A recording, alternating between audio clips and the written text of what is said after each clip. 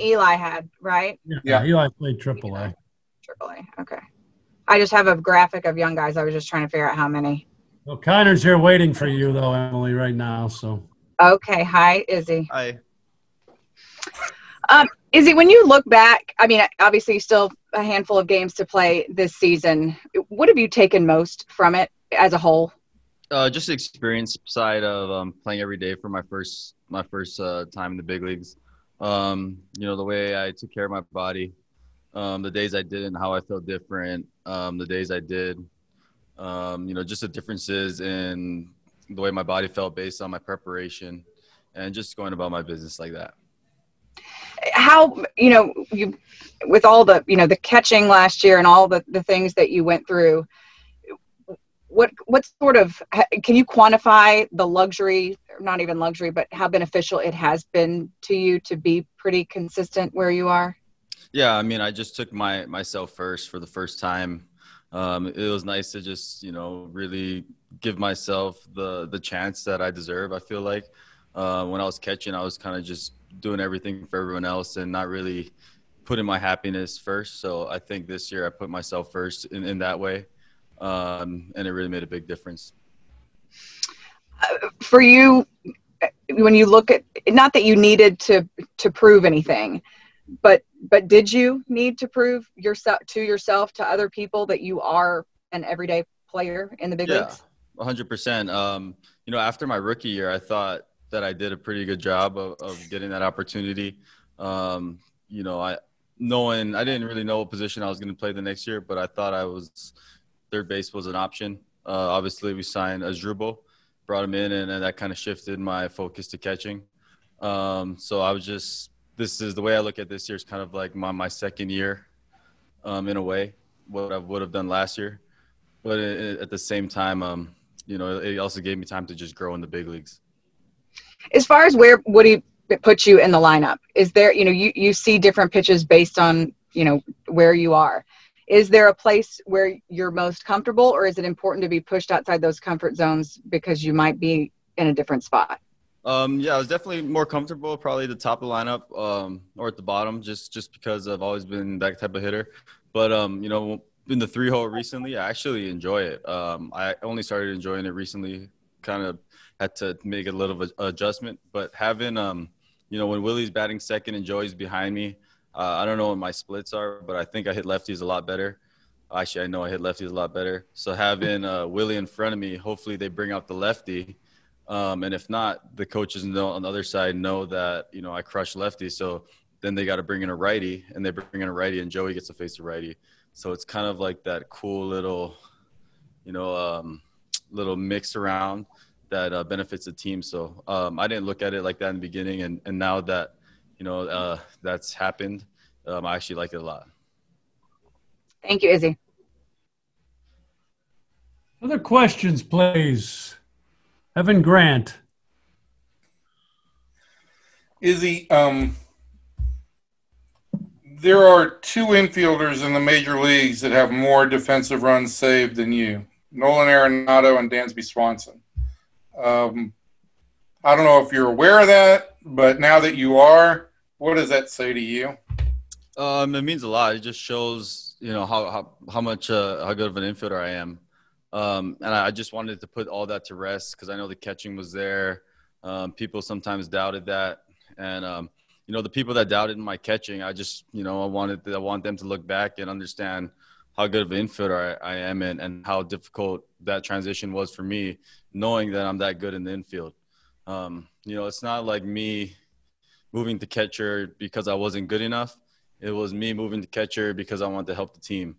So I just, I mean, having this year just shows everybody that that's who I am and that's what I do. And are you now? Do you now feel third base is your best defensive position? Uh, for me, it doesn't matter. Um, the way I look at it now, it's like shortstop's almost more of a third baseman. The way that they play righties in the hole, um, they move to the left, and the second baseman's right there in their way. So the shortstop is actually kind of evolving to more of a hitter position, in my opinion, and less of a defend, defensive position. Um, you look when the lefty hits the the shortstop's behind second base, and the range that they have to cover isn't much. I mean, they're just getting hot shots right at them, uh, more so of what a third baseman would usually get. So I think uh, that benefits for me being a third baseman, especially when lefties come up. I have that whole side to myself um, rather than just a little, maybe 15, 20 foot area at shortstop. So I'm able to make more plays that way. And um, did you did you have a Gold Glove in mind when this year started? I had it in my my rookie year. Um, that was my goal my rookie year, especially coming from the minor leagues. Um, you know, I played against Chapman a bunch. Uh, you know, I knew he was uh, elite, and I, I didn't feel like I was far behind. So, you know, having him win a couple, even the platinum glove, um, you know, actually boosted my confidence a little, knowing having been able to see him so much in the minor leagues and play against him um, in Double A for two years and high for one year. So, um, yeah, it just really boosted my confidence. And you know, hopefully this keeps going, and hopefully, you know, I, I get it this year. Okay, great. Thanks, Izzy. Other questions, please. Anything else for Izzy? TR. Isiah, kind of what you were talking about, it's almost like there's no such thing as a third baseman or a second baseman or shortstop. It's kind of like football. They went from cornerbacks to safeties. Now they're all defensive backs. I guess my question is whether it's you or Josh Jung or anybody, do infielders now have to just come up and just say, I got to be able to play anywhere on the infield, no matter what it says next to my name in the lineup? Yeah, uh, 100%. I mean, you see Machado move I actually did in the beginning of the year, but you see the third baseman go and play deep right field now. So I mean, it's more so of, of just being a defender. And um, position, I see everybody kind of labeling people by position. I don't think it's like that anymore. It's more so of you just build your roster. Um, you know, you need a leadoff guy, uh, fill out two, three, four, five, six, two through nine, and um, you know, there's not really third base has to be a power hitter, shortstop this. I think it's um, you got to go with defense and you got to fill in the lineup based on what you have and uh, what you can acquire. Well, that play by Machado was kind of was an eye opener to me about what a third baseman may have to, to do. Was that for you as well? Yeah, hundred uh, percent. Right when I saw that, that's when I realized like there's it doesn't matter if you're the shortstop. That's that's kind of when I came to the conclusion because you know, that's a third baseman making that play. Um, and Machado could also play shortstop. Um, so it's, uh, you know, just shows that it doesn't matter what position you are. Like he's a third baseman catching a ball in right field. So it's weird. Thank you, Isiah. Couple more for Izzy. Matt Hicks. Yeah, Izzy, just want to follow up on Emily's question. Do you feel like uh, that there is more pressure on you to perform batting in the number three spot? Um, no, I think um, you know I, I do feel sometimes in the in the beginning I felt like I had to hit for more power, and uh, the more and more I got comfortable hitting there, I just realized it's more of a, a lineup flow than anything. So um, just like defense, it's kind of the positioning doesn't really matter, um, and the way the game is kind of going, you see other teams switching up their lineup based on who's pitching. So I think uh, nowadays everything's just about the flow. Okay, thank you. Levi. You may have just answered this, but I just want to make make certain. Um, you told Emily that the first couple of games you weren't quite as comfortable in the three hole, but then you made some adjustments. Was that just the realization you were talking about that the position doesn't matter, or were there other things that you did that, that helped you? Yeah, I, I mean, I was getting frustrated, wondering why, like, I was getting pitched certain ways and this and that, and and then I came to the conclusion that I'm in the three hole because Willie brings in a lefty, then I'm in a good situation. Um, they bring in the righty for me because they don't want to leave a lefty in, and then it's a good situation for Joey.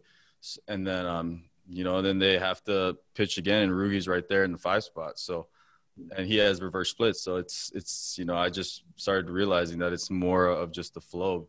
You know, it, it was weird at first, but just understanding that part of it, that aspect, uh, makes a big difference. Yeah. So that was all just mental adjustments. There was no physical adjustments that you made. Just trying yourself. to do too much right internally. Yeah. Cool. Thank you.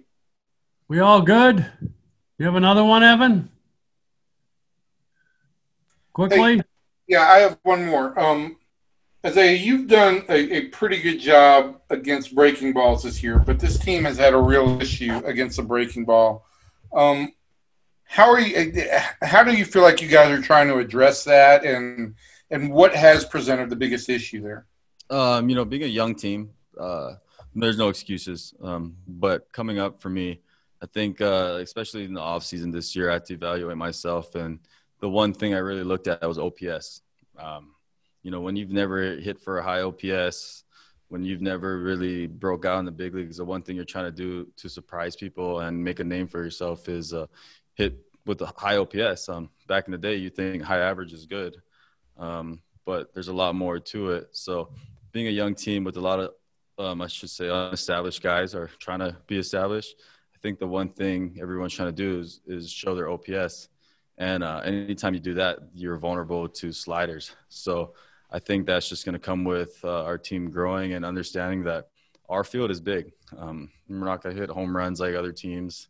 Uh, our team's not built for that. So I think just understanding that we need to just hit singles and run the bases and play good defense, kind of like the Royals when they went on their run. Um, we're not going to be like the Josh Hamilton, Michael Young, Beltre teams. We're going to be, you know, a smaller defense first, fast team. And um, that's just how it is with the, the new stadium. So it is what it is. And once everyone kind of learns that, and that's when the OPS will go up, then I think that's when uh, we'll have more success as a team.